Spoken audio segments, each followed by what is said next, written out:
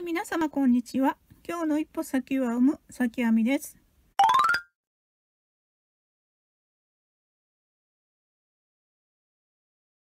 はい、今回はミニバッグの続きでここに持ち手をつけようと思います。糸はティッシュボックスを編んでまだこれぐらいあるので十分余裕でつけられるのでつけていきます。そしてこちらの編み終わりは糸始末をしておきます。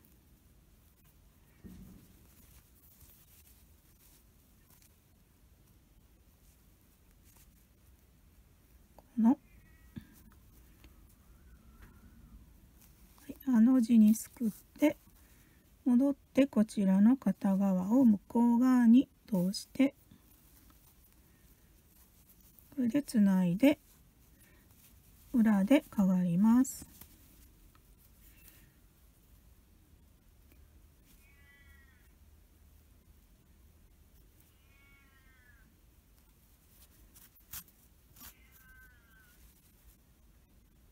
そしたら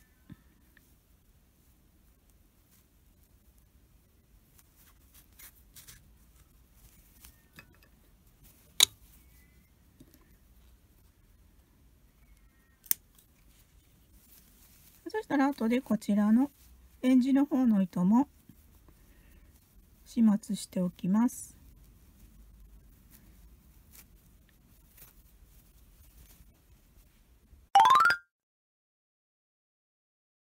はい、持ち手の方ですが3本にまた糸を作ります。3本糸を作ります。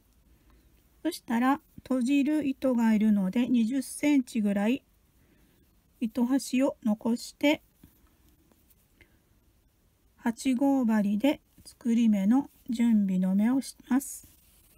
それから鎖編みで36目いったらだいたいこれが21センチなんですけどこういう感じについていきます、ですのでここから鎖編みを36目。編んでいきます。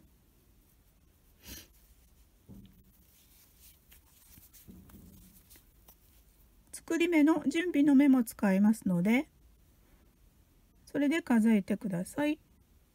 はい、鎖編みを36目編みました。そしたら7号に変えて中長編みをするので2目立ち上がります。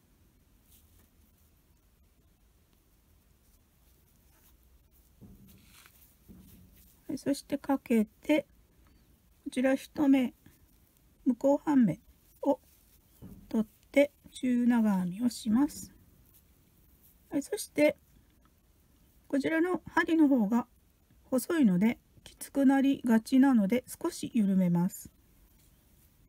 中長編みして向こう半目を取ります。少し緩めます。こちら最初の作り目の鎖と均等になっていったらいいです。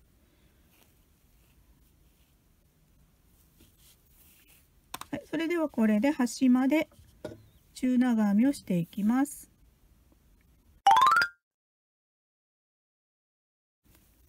はい、こちら2本持ち手を作ってきました。そしたらこの縁編みにエンジを入れようと思います。今度はもう最後で縁に細く入れたいので1本取りで編んでいきます。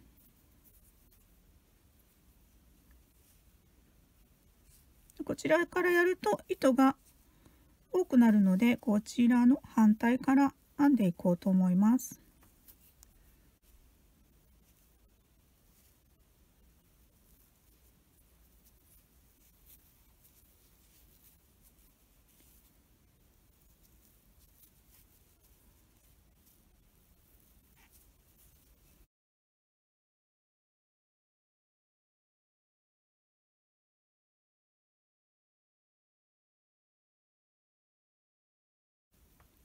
きつくならないように気をつけて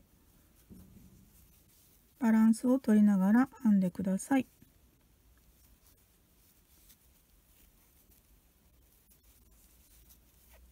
このようにしてずっと縁を編んでいきます。角のところに来たら立ち上がりなんでのところは2目ほど入れて引き抜いたらいいと思います。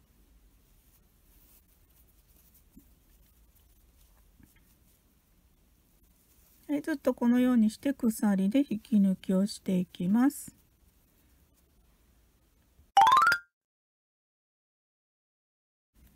はいこのようにして縁をずっと鎖の引き抜きで編みました。そしたらこの糸始末をしてこちらはこの糸でここに閉じつけて反対側は茶色の方の糸で閉じつけようと思います。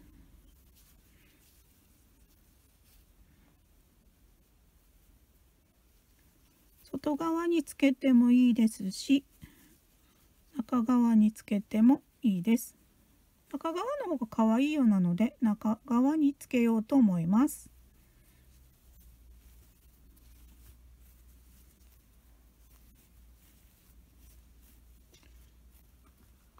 そしたら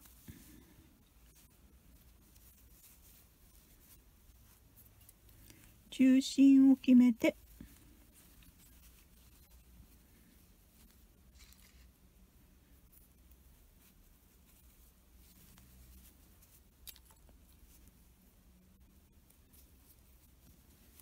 こちら4等分して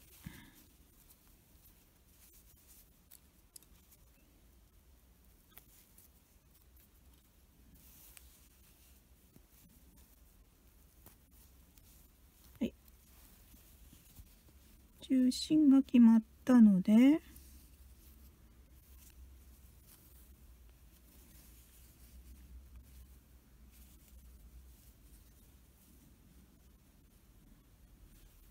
このぐらいの位置がいいように思うので中心の目から4目目4目離したところ4目ないし5目ですね。のところにつけようと思います。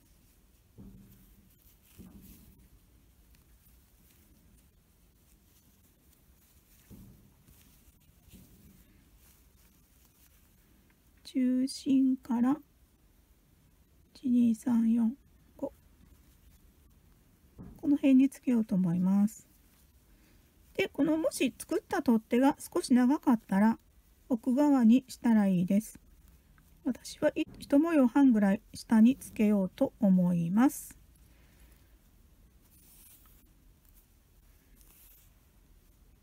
ここをぐるっと一周表に響かないようにかがっていきます。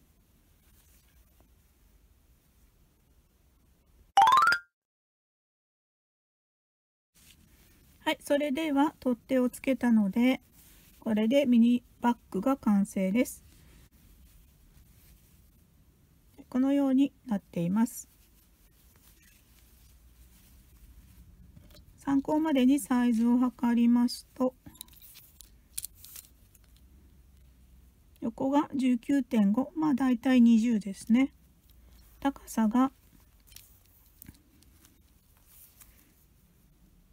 13.5マチの方がこれは、うん、2.3ぐらいですねまあ全部のサイズはもうお好みなのでお好きなように作られたらいいと思います、まあ、今回はこのダイソーさんのこちらのリユースの糸を使ってみたかったのでちょっとやってみました。そして3本取りにしたことととの残り加減を含めてもう一品こちらのティッシュケースを編みました、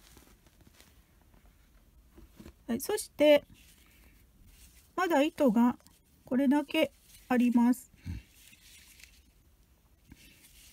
でこれだけあるのでもう一品ガマ口か何かを作ってみようと思います。では今回はここまでになります。最後までご視聴ありがとうございました。今日の一歩先を編む先編みでした。またお会いしましょう。